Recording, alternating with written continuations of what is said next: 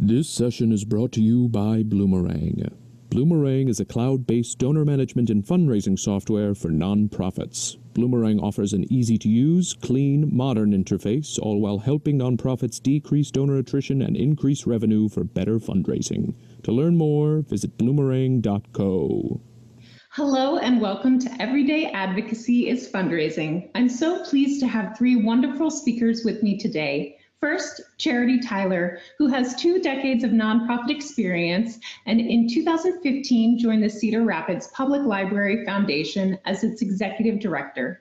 Charity currently serves as the United for Libraries programming chair and was recently elected the 2021 and 2022 president for United for Libraries. We will also hear from Amber McNamara, the Community Relations Manager for the Cedar Rapids Public Library, who says she spends her days scheming new ways to draw the community into the library and the library into the community. She spent her career before libraries in nonprofit marketing, branding, and communications. And finally, John Chrastka, who is the co-founder and executive director of Every Library, the only national political action committee for libraries. Since 2012, Every Library has supported public libraries in numerous funding negotiations with elected officials and on 110 election days to help secure over $1.8 billion in stable tax money for libraries. And with that, I'll throw it to you.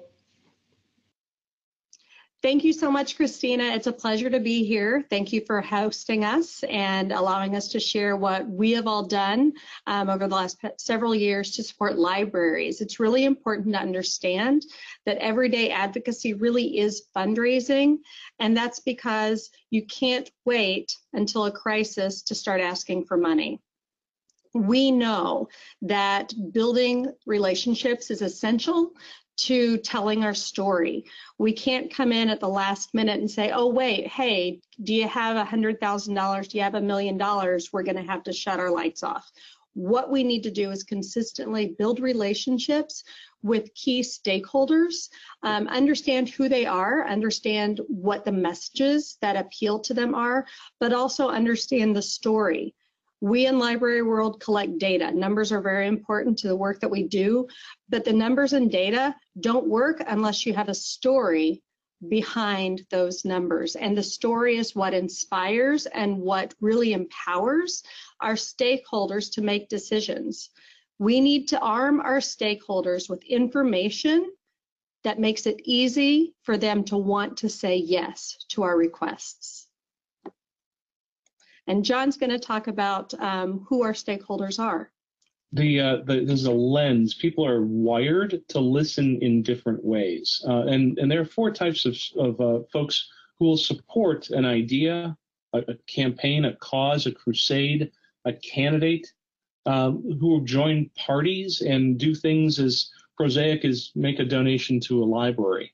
Uh, there, there's four ways that folks are again, wired to listen to those stories. And we want to put these frames out for you as we go through the rest of this presentation today, because you've got a preponderance of in well, perhaps relational supporters, folks who are part of your inner circle, who are part of your friends group and your foundation, uh, who are part of the usual suspects.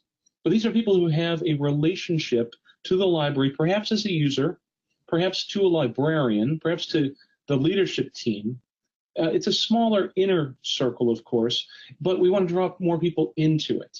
And a little bit later in the presentation, Amber and Charity are going to talk about how they've done some of those things to bring people closer in. The next ring out, though, of supporters, the way the lens works for people, the way they listen to your stories, those people who are ideologically aligned. That might be around literacy, and that one's an easy conversation for library folks to have, but it could also be about workforce or about small businesses or about people at the margins or right now where we are in America in crisis. Ideologically, folks who agree with what you do, who don't necessarily use the library, who are the ones who are going to show up and say, yes, I'm glad somebody is doing the work. But they need to hear from you as the state, as the, uh, the, the, the campaign managers about, well, how do we align our value systems around that ideology? The third ring out is a type of supporter who is, uh, well, in the political sciences, they're aversion supporters. They're the ones who are like, let's not be dumb today. Let's do the thing that makes some sense. Let's, well, in a, in politics, it's often I'm against that candidate because, you know, the enemy of my enemy. That's not what I'm talking about. It's not negative here. It's can we use a little bit of smart money in town for a change? Could we not drop the people through the safety net? Could we not? And I know that doesn't, it might not feel comfortable always using the word not, but to define the negative about who isn't going to be served if we don't have the funding, who is going to, well, how are we going to potentially fail if we don't have the support? There's a whole group of folks who are motivated around that don't be dumb for a change. And then in politics, there's the access supporter. We see it in politics all the time the $10,000 plate dinner back when that was legal. But the $10,000 plate dinner that gives you access to, and I know some of you folks here on this webinar, on this uh, conference, actually do have access based supporters.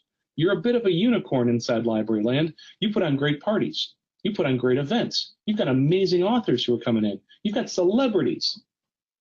I don't want to be shy about those people. Let's get more of those folks in as those types of supporters. You know, John says supporters, and when I think about uh, supporters, I also think about stakeholders.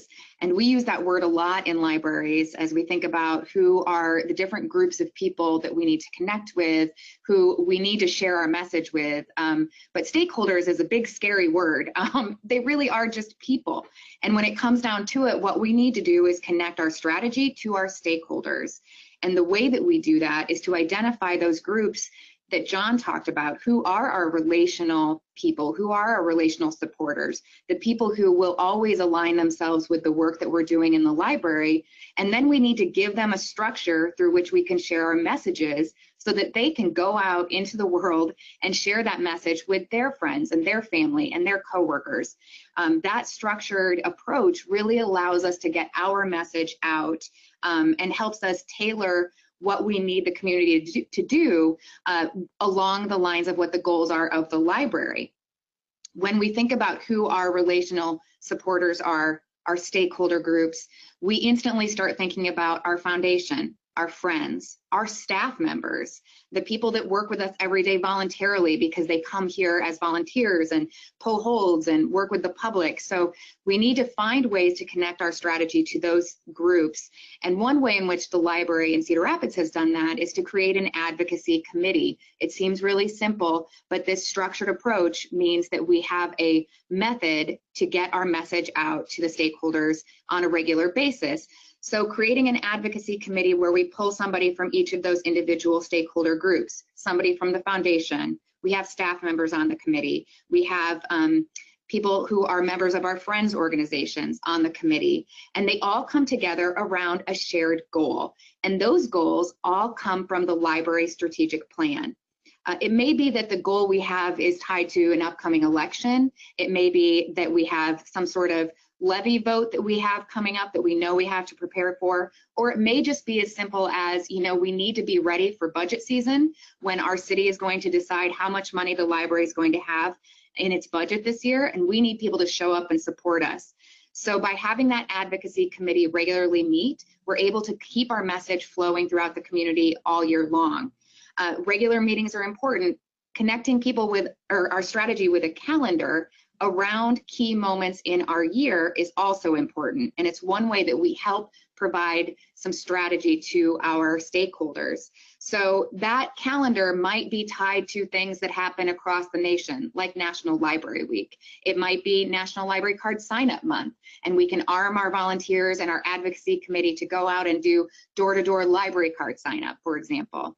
But it may also be budget season, like I said, when we need people to show up at the budget hearings and be there to show support for the library.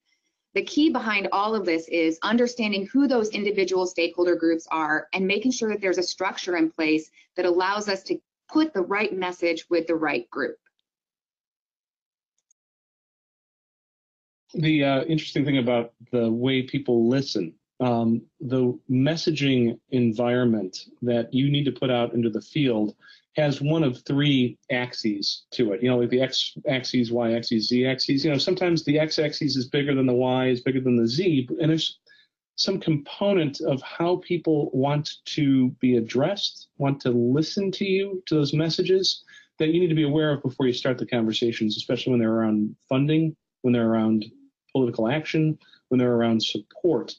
There's a um, a coalition approach that says we are in common cause around a, a, a population. Uh, I'm sorry, forgive me. We're in a common concern around a population where we have compassion for a population. Uh, it might be little kids. It might be uh, summer reading in that COVID slide summer reading gap. It might be seniors. It might be community connections. It might be people looking for work. It might be small businesses. We, our heart goes out. And there's a version of there, but for the grace of God go I. And how is our mission, vision, and values of the library lined up with somebody's compassion? And if you're a compassionate person yourself, that's a very easy conversation to start. But pride is another reason that people give. Pride is another reason that people vote. Pride is another reason that politicians run for office and want to improve their community. We're in a common cause about this hometown, this place we both live. Main Street, uh, the new parks, the new transportation networks, the uh, just not having potholes. Who do we want to be together? That pride conversation is something that filters relationally, ideologically, for aversion people, especially aversion people, and for those folks who want access. And then we're in a different moment now with this virtual conference than we were a year ago in Calgary. There's also concern that is an axis of communication. I am concerned about, I am concerned for, I'm fearful of. And again, I don't want to go negative on things here, but there is a legitimate moment here uh, in, in, in, our country, in, in our North American world together. What about the gaps? What about the margins? What about the honesty it takes? I don't know a single donor. I don't know a single donor who wants to put money into a into a cause that should be taken care of in the form of taxes. And I know a lot of politicians right now, well, they're politicians if they're the bad guy, elected officials if they're the good guy.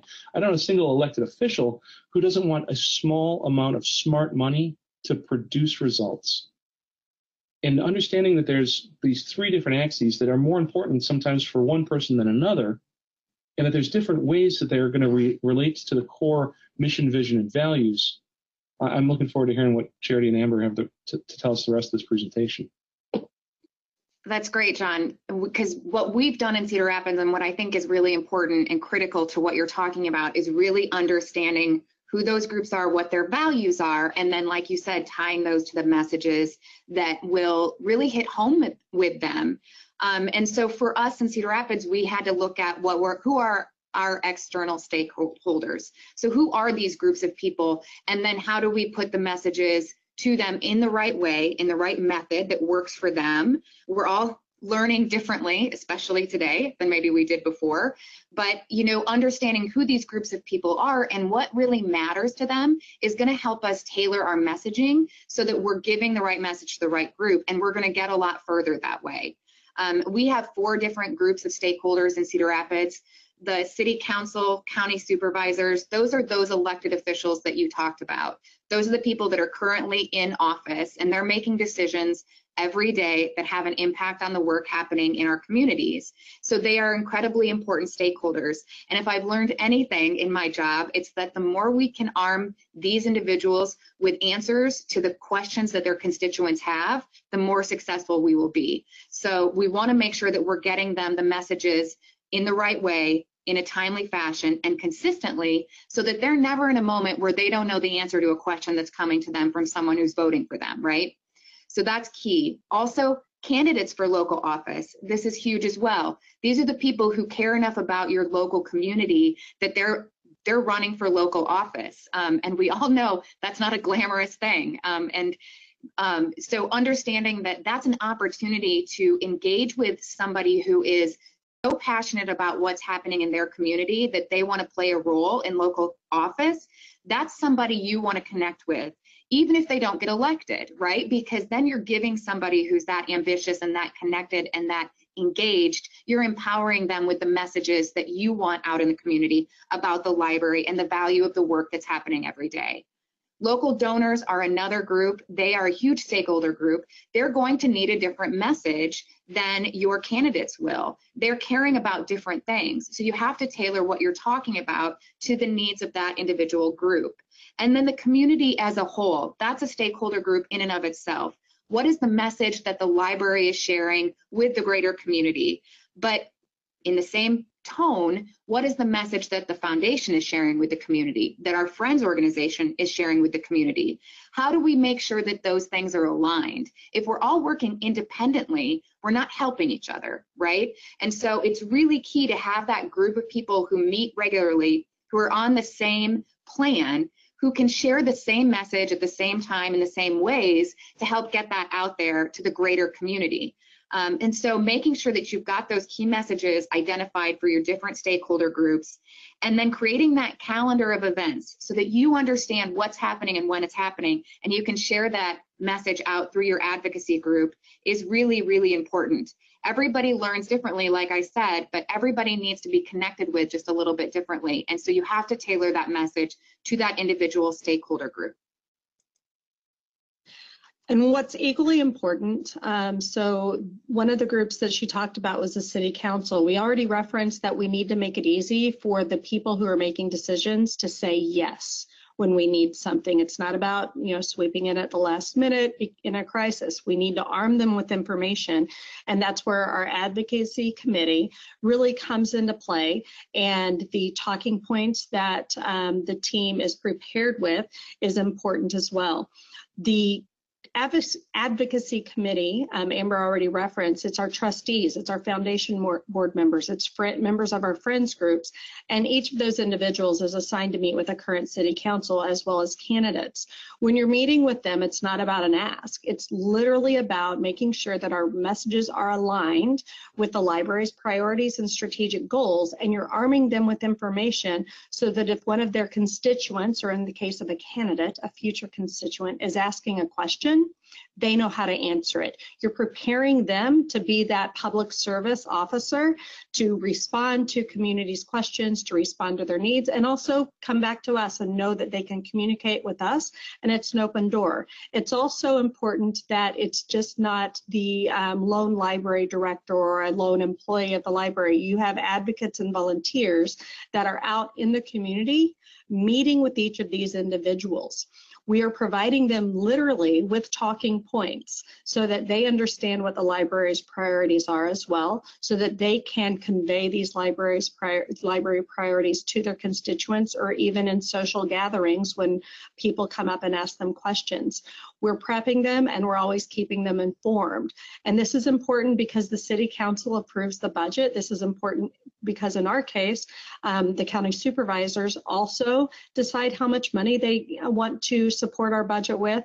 And it's about advocacy now, but it's also about advocacy in the future. We I keep saying it, but it's not about a crisis. It's about communicating the long-term goals of the library, um, answering questions and making sure that they understand what's coming down the pike, what current needs are, but also what future needs are.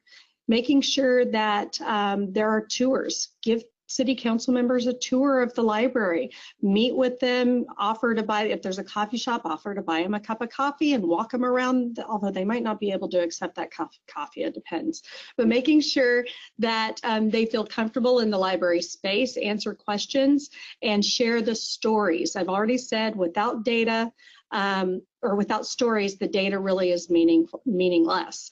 So um, understand what the needs are of the library um, based on work from the advocacy committee, but also being able to communicate those needs um, so that you can um, get the decisions you want and you need when budget time comes around. We actually have a really um, good example of this in Cedar Rapids um, because we went through a process in uh, 2015, we were up for a levy vote to renew a, a tax levy locally, and that failed, um, unfortunately. And because of that, the library was forced to cut hours in both of our locations. We were forced to reduce services and resources to the community, and the impact was really devastating locally. Um, and so after that, after that loss, we really had to look around and say like, okay, we, we didn't get what we wanted.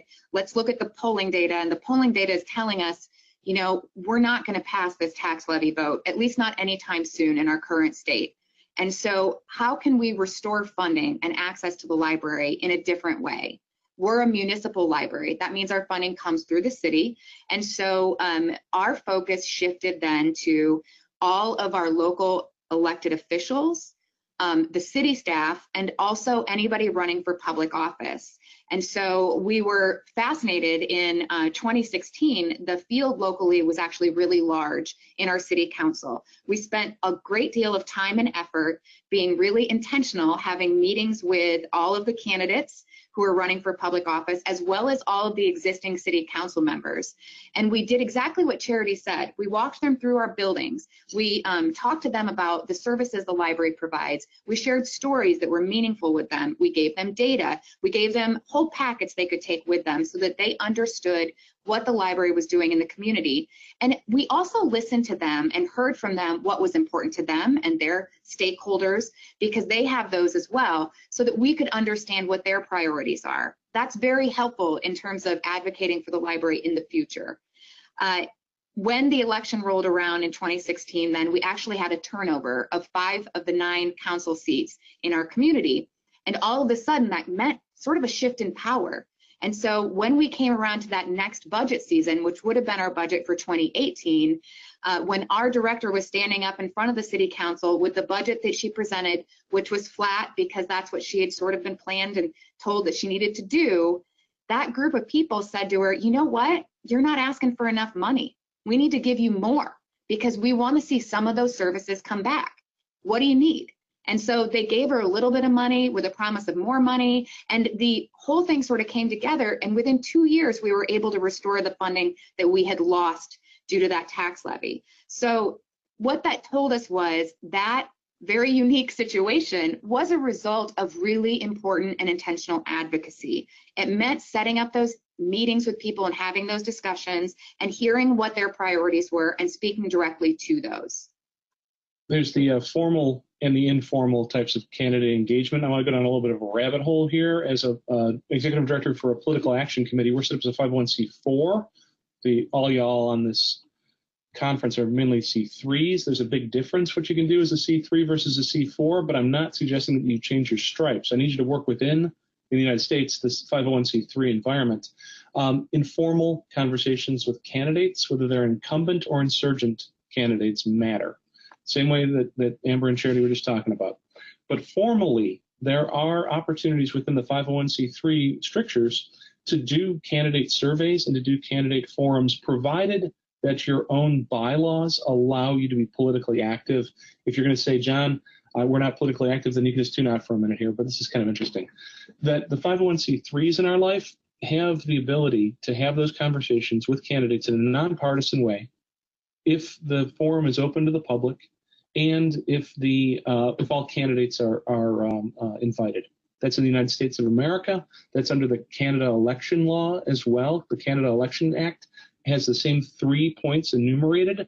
In the UK, it's a little bit different. Uh, if you're a chartered institute, of course, or a chartered organization, you can petition government in a different way. But the NGO community in England still has that opportunity to talk to candidates who are either standing or running for office, depending on where you are the survey is very important as well uh, as a formal mechanism. Sure, if you wanted to do a candidate forum, that's awesome, but the survey too, because as a 501c3 organization, either independently, because you are postured towards uh, supporting the library, or in partnership with an organization, again, nonpartisan, but something in the United States like the League of Women Voters, or another nonpartisan voter uh, engagement organization locally, um, who, how do, how do they feel about libraries? How do they feel about the way that librarians are solution providers. Um, you can publish that. And you can publish it to your members if you're if you're a membership organization. You can publish it through well, like the, in the in Dallas, we worked with the City of Dallas Public Library on a candidate forum. We had five forums across the entire city. The library was both the location, but it was also the topic of this nonpartisan, open to all candidates. There were 56 people running. And we also did a candidate survey about their attitudes around how the library is solution, how the librarians are solution providers. Dallas Morning News picked it up. I got to tell you, it, the, the, next budget cycle that the uh, city council had, number one priority for the community was the library. Number two was police and fire. Number three, I don't remember, because number one was the library, and I could retire now. How are the values, vision, and mission of the li- of the candidate aligned with the library? They might not even realize it. They might not have even thought about it before until you connect the dots for them and vice versa. How's the library's mission, vision, and values aligned with the candidate's platform? It doesn't turn you into a partisan actor to also care about the same people or that same place you call home. That's such amazing information because understanding the values and understanding and being able to survey um, those that have influence or have power essentially is really key. Um, but it's also important not to forget about our donors. So this is the Public Library Fundraising Conference and what I do every day is advocate for my library. Every day when I'm in meetings, whether I'm presenting to a Rotary or a Kiwanis Club, or I'm visiting with a plan giving donor, or I'm chatting with a foundation officer and I'm preparing to write a grant, every day what I am doing is advocating for my library. So it's important. This goes back to um, Amber's original message. The library has key message points. They have a strategic plan. And so for you, um, you know, whether you're a development officer, whether you're a foundation director or a Friends board member or president, or even a, a Friends fundraising, you know, staff member, it is so important to make sure that your key messages are in alignment with the libraries because what cannot happen is that you go and you talk about your book sales and what your um, what your money is funding and then the library director talks to that group about four or five six months later and that's not their priority. That's not, you can't, you need to have a cohesive message so that you're empowering your community influencers. So it's the donors and the influencers with information because they're going to talk. So word of mouth is so powerful. So when you think about your face-to-face meetings, your corporate partners. So the corporate level decision makers, um, often maybe they're golf buddies with another person who's a key influencer, or maybe they're um, members of the country club, or maybe they are members of a bridge club or something like that. Whatever it is, these key stakeholders at the corporate level, um, at the community leader, influencer, and major gift donors, that's so important that you're dripping on them all of the information that is necessary for them to understand what's going on, but also for them to understand what ties to their values, um, what ties to their personal mission or their company's mission to make it easier to raise funds for library programs, but also to arm them with information so that when they're talking to the city council member because they're getting ready to build a building or something, or they're needing to um, get some something within the city um, policies or parameters changed, they have information. If the library comes up or maybe that's their priority and they all of a sudden turn into your key advocate. It's so important to make sure to arm them with information. And I talked to, um, I really referenced the major gift donors and the private foundations because those are the people that you're asking for big chunks of money. And if you cannot actively and accurately communicate an aligned strategy for your library, they might be very confused as to why you're asking them um, for funding for Dolly Parton's Imagination Library in my case, so for a children's program, and you're hammering your need for that program, and then all of a sudden, within a matter of a month, you're calling them up again to talk about a mobile technology lab, right? That STEM um, outreach to senior centers and adults as well as kids but what about literacy? What about access? What about um, early literacy, kindergarten readiness? So making sure that you are communicating on a daily basis um, what those values are is so important to our stakeholders. Other ways that you can do this include your newsletter and your e-news. Um, so we always want to make sure you're communicating that. And a key tool Um, I am not from library world. I came from corporate America. And so using words that are not library speak is so important. If you attended last year's conference, you might have, might have had a chance to attend the Ease for Libraries um, session. And it's just making sure that you're using common language to communicate what a library does. So that's something that I would encourage you to also do is take out all library speak of your advocacy talking points because I was lost for about a year. and so it needs to make it easily understood information, whether it's a face-to-face meeting, a newsletter, or an e-news. That's awesome. I also think about when we talk about sharing that that information I think about our greater community and the individuals within the community who are your um, very connected champions and how do you arm them with the message that you want as well. And so from like the library's perspective, this is all about starting the conversation with the community about the purpose of the library. We discovered quickly after we lost our levy campaign that people really didn't fundamentally understand what a library was um, why we had a public library. And so we had to really start at zero. What is the purpose of the public library in the community? Um, we are something that you fund through your, your tax dollars or through um, our donations that we get through our foundation. And, and so we need them to understand that the, the purpose behind the library is to be a resource um, for the community. And so make sure that you start with that. Using that common language that Charity talked about is incredibly key. And also taking advantage of a captive audience when you have one. Within the library buildings, for example, are you messaging the basic things that people need to know about what a library is and why it's there?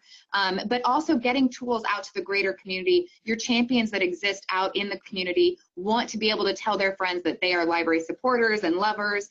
Um, and so we did simple things like creating yard signs. You know, we're in Iowa and we love yard signs in Iowa, especially around elections. And so use that to your advantage. Think about how you can get your message out on a yard sign that a library champion is going to put up. And suddenly you're driving around town and you see your message show up in somebody's yard, I mean, it's a, a pretty epic feeling. And so take advantage of the tools that exist to get your message out there to the greater community as well.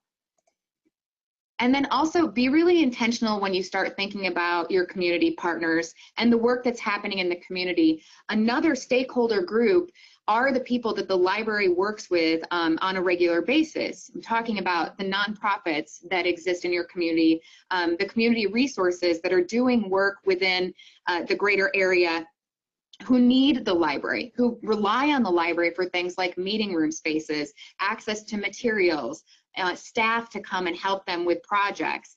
You need to align your messaging with those community partners so that they understand what you're doing, what your goals are as well, and so that you can support one another. If you have a strategic plan, and you should, the library strategic plan should include um, a messaging that goes out to those community partners as well.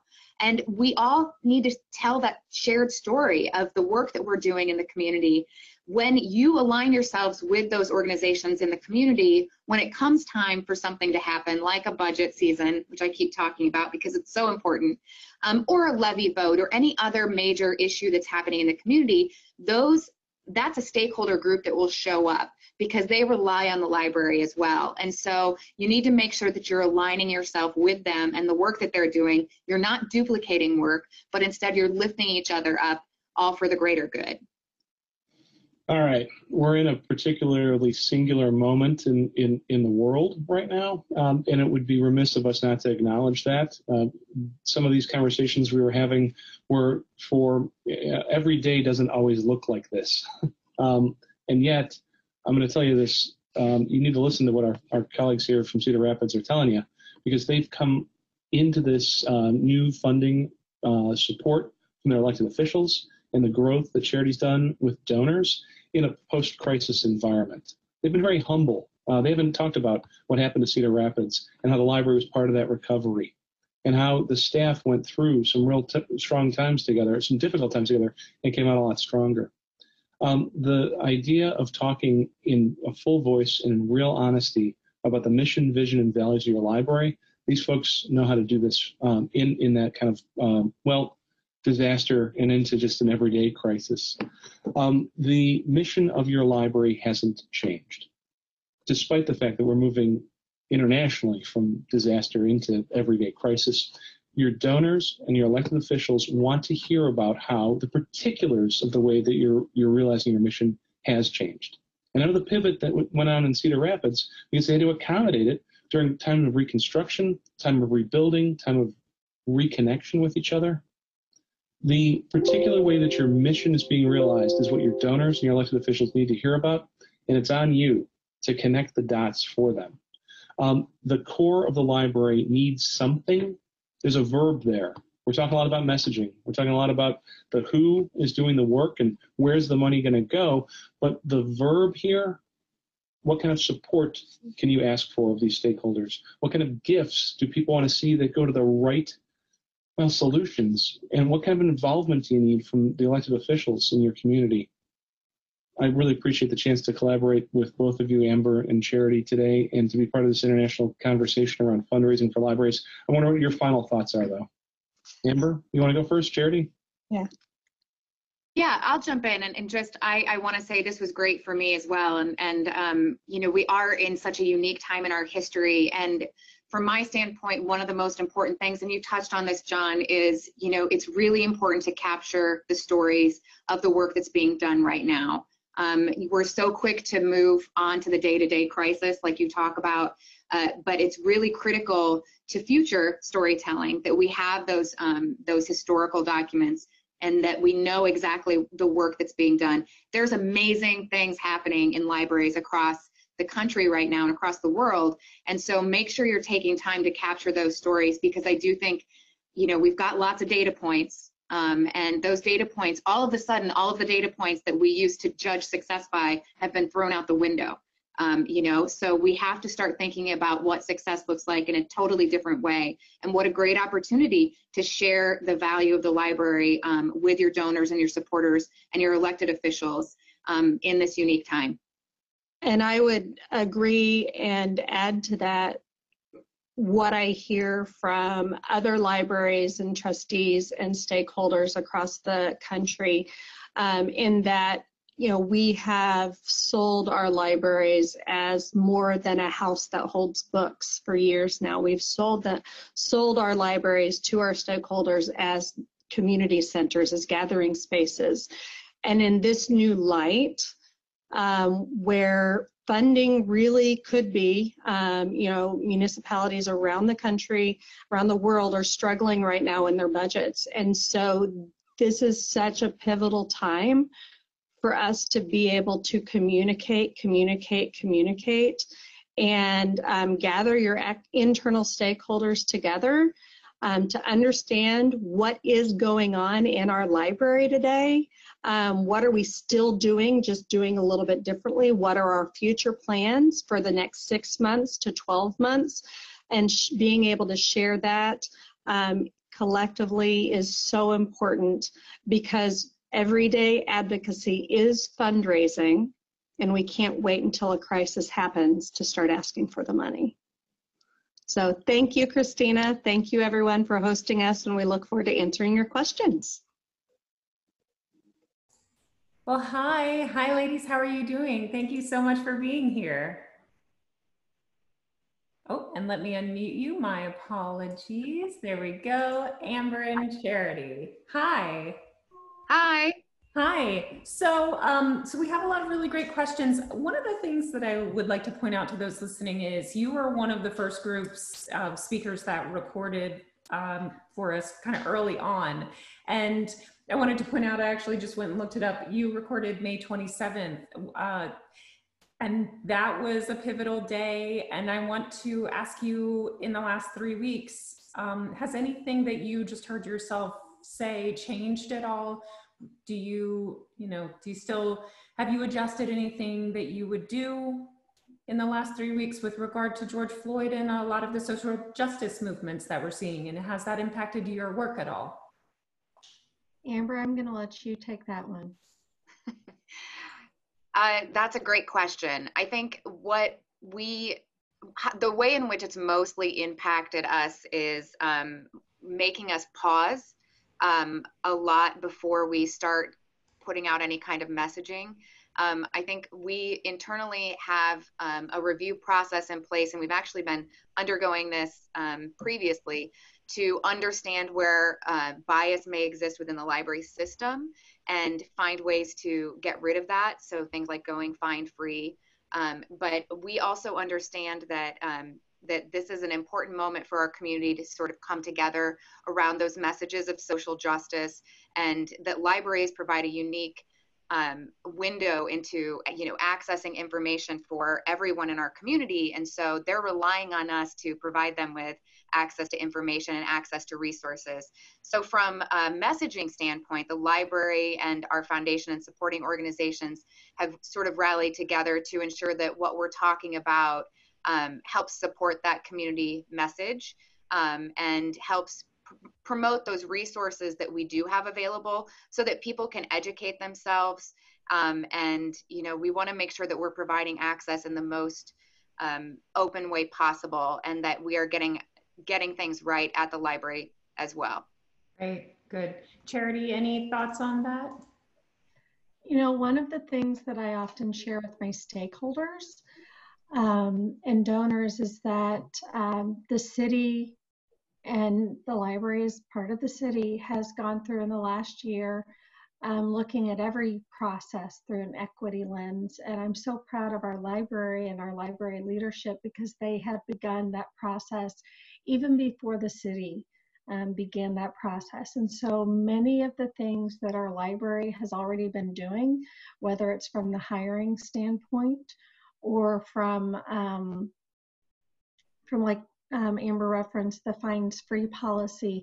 We were slated to go fines free July 1st, but when we shut down in March, it was all right, I guess we're going to go fines free now because we couldn't allow people to return books. And so, how can you find them when we're making them late? So, yeah. um, we've already been doing that work, and we're so proud to continue to be a resource for our partners to learn more and um, we on social media have been trying to share um, the lists that our collections team and materials team put together on um, how someone can learn more about the social justice movement or um, the anti racism materials that people can check out. And so just trying to promote and um, help the library's voice be louder mm-hmm. if that's a if that's a way to put it, sure. to make sure that we are um, amplifying their messaging and still being a good partner and resource to our um, our donors and our community members. That's great, and thank you for letting me. Um, you know, diverge for a minute. And I wanted to give you the opportunity as our, our first group that went around three weeks ago. The world has again changed so much. So let's get to some of the questions that people ask, and pardon me while I look at those. So uh, you mentioned things that should be taken are taken by taxes. So someone is really asking about, you know, the whole not by taxes alone. Um, can you share any ideas for messaging that you have around that?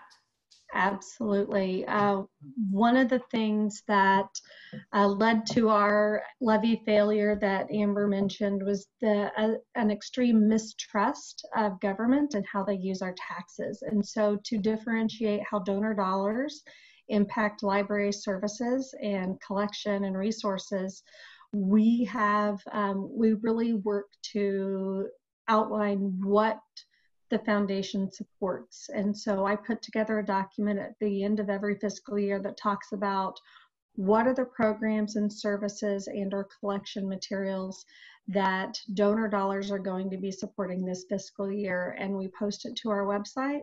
Um, we share it in social media. And we also make sure that it's a piece that every donor and every board member has um, to reference. And then also uh, in our newsletter that they can keep it and reference it whenever. But we really talk about we don't support um, keeping the lights on. We don't pay the electri- electricity bill. That's a city thing. But we do cover the above and beyond. So anything that's innovative, anything that is something that's new and unique um, to our service. So I know other libraries had um, provided Hoopla, the streaming service, in the past. Hoopla is relatively new for us. And so when I have a conversation with our library director around funding a new service or a new program, my question to her is often, how long do you want donor dollars to fund this? And if it is successful, at what point will you be rolling it into your regular operations? So we're that test vehicle for innovative, innovative services.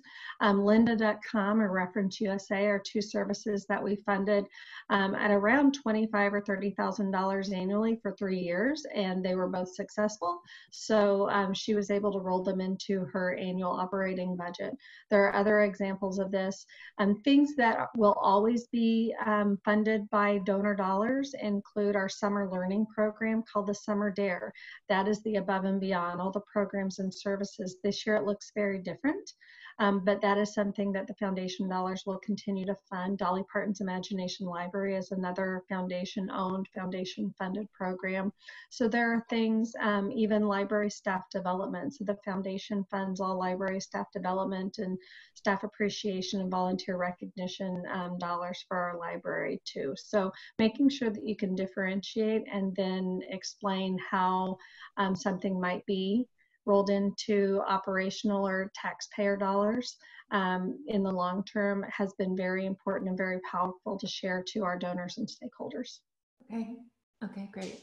Amber, anything or would, I am very happy to go on. We have two other wonderful questions.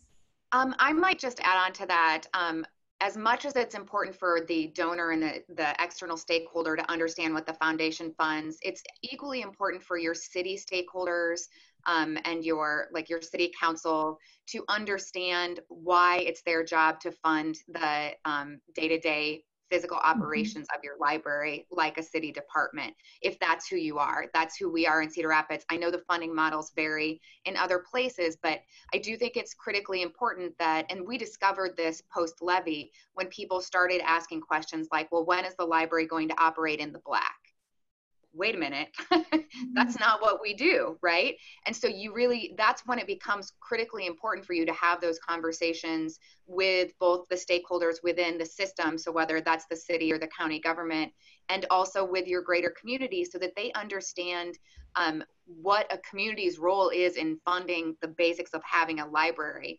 Um, that's when people understand that it's their job to keep the doors open and the lights turned on so that we can have the books and have the spaces and have those you know very fundamental programs um, the foundation and your supporting organizations are the ones that make it possible for us for us to go above and beyond. And that's wonderful but we need to be able to take care of the library within our community using those tax dollars. Okay. Okay great. So um, two questions for you with the time that we have left. Pardon me while i look at them. Um, when working to get an appointment any advice on how to get that meeting? Uh, is it staff member scheduling, volunteer? Who would like to go first? I can jump in on this. Um, yeah, thank you, Amber.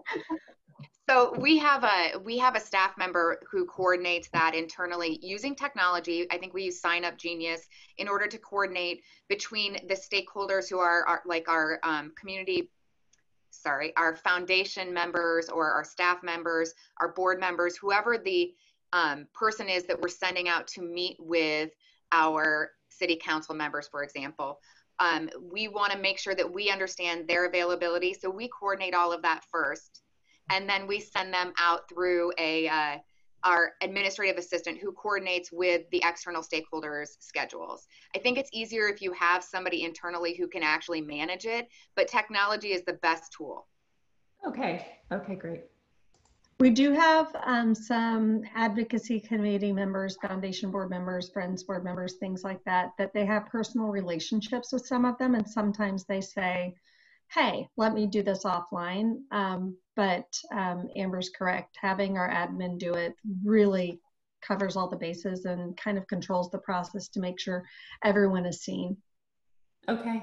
Now, another question for you both is talk more about the materials that you've prepared and charity you were referring to those and i think that people are probably wanting a direct line to that. So i'll let you go first. So the materials that i provide are very foundation focused and basically how our donor dollars are used to support innovative programs that align with the um, strategic priorities of the library. I think the packet typically put together for candidates um, is much more polished and much more focused on library operations, library achievements, library stories, and strategy. And um, I know that whoever asked this question was very was asking about is it a Word document or is it a Slick or whatnot. So I'm going to let Amber talk about that particular piece because it really is pretty specific. Yeah, so we compile packets based on who the audience member is that we're visiting with. But generally, like for City Council, for example, what we're providing those people with would be our annual report so that they can see the basics of the numbers as well as some of the stories that the library has um, accumulated over the last year. We have some specific facts and figures, so budget numbers that apply directly to the library. We're also including any sort of um, informational piece. So we do a, a quarterly magazine, for example, that has some stories about the library and library use, as well as um, a list of all of our programs for that quarter um, and some promotional items in it. We include that. So as much of the swag about the library as we can include, we will. Um, but you, we also will include just a Word document with some key messages that relate to whatever the goal is around the time that we're meeting with them. We also have a strategic plan document that's a three year plan, and we include that when we meet with these stakeholders as well. I want to chime in that um, Amber and her team really only um, create a small run of slicks of really high quality, and those are the pieces that we use with our candidates and our um, and our elected officials. We want it to look good. We want them to be proud, and we want them to be able to show them um, show these pieces. And so um, it's not something that she's doing a mass, you know, $10,000 print job of these slick pieces. It's a relatively small print job, but they are very high quality materials that we're providing to these candidates and the elected officials because we want them to be proud and be able to show them and have them sitting on their desk as a piece or a talking point um, when they're visiting with others. Okay. Okay, great. Well, ladies, I, I do want to thank you so much for your time. And I'm sorry that we missed John. He is in such demand that he was actually speaking at another conference. So we were lucky to have him. So thanks again, Charity and Amber. We so enjoyed hearing from you, lovely ladies. And have a good one. We hope to see all of you at 2.30. Thank you. Goodbye. Bye. Bye.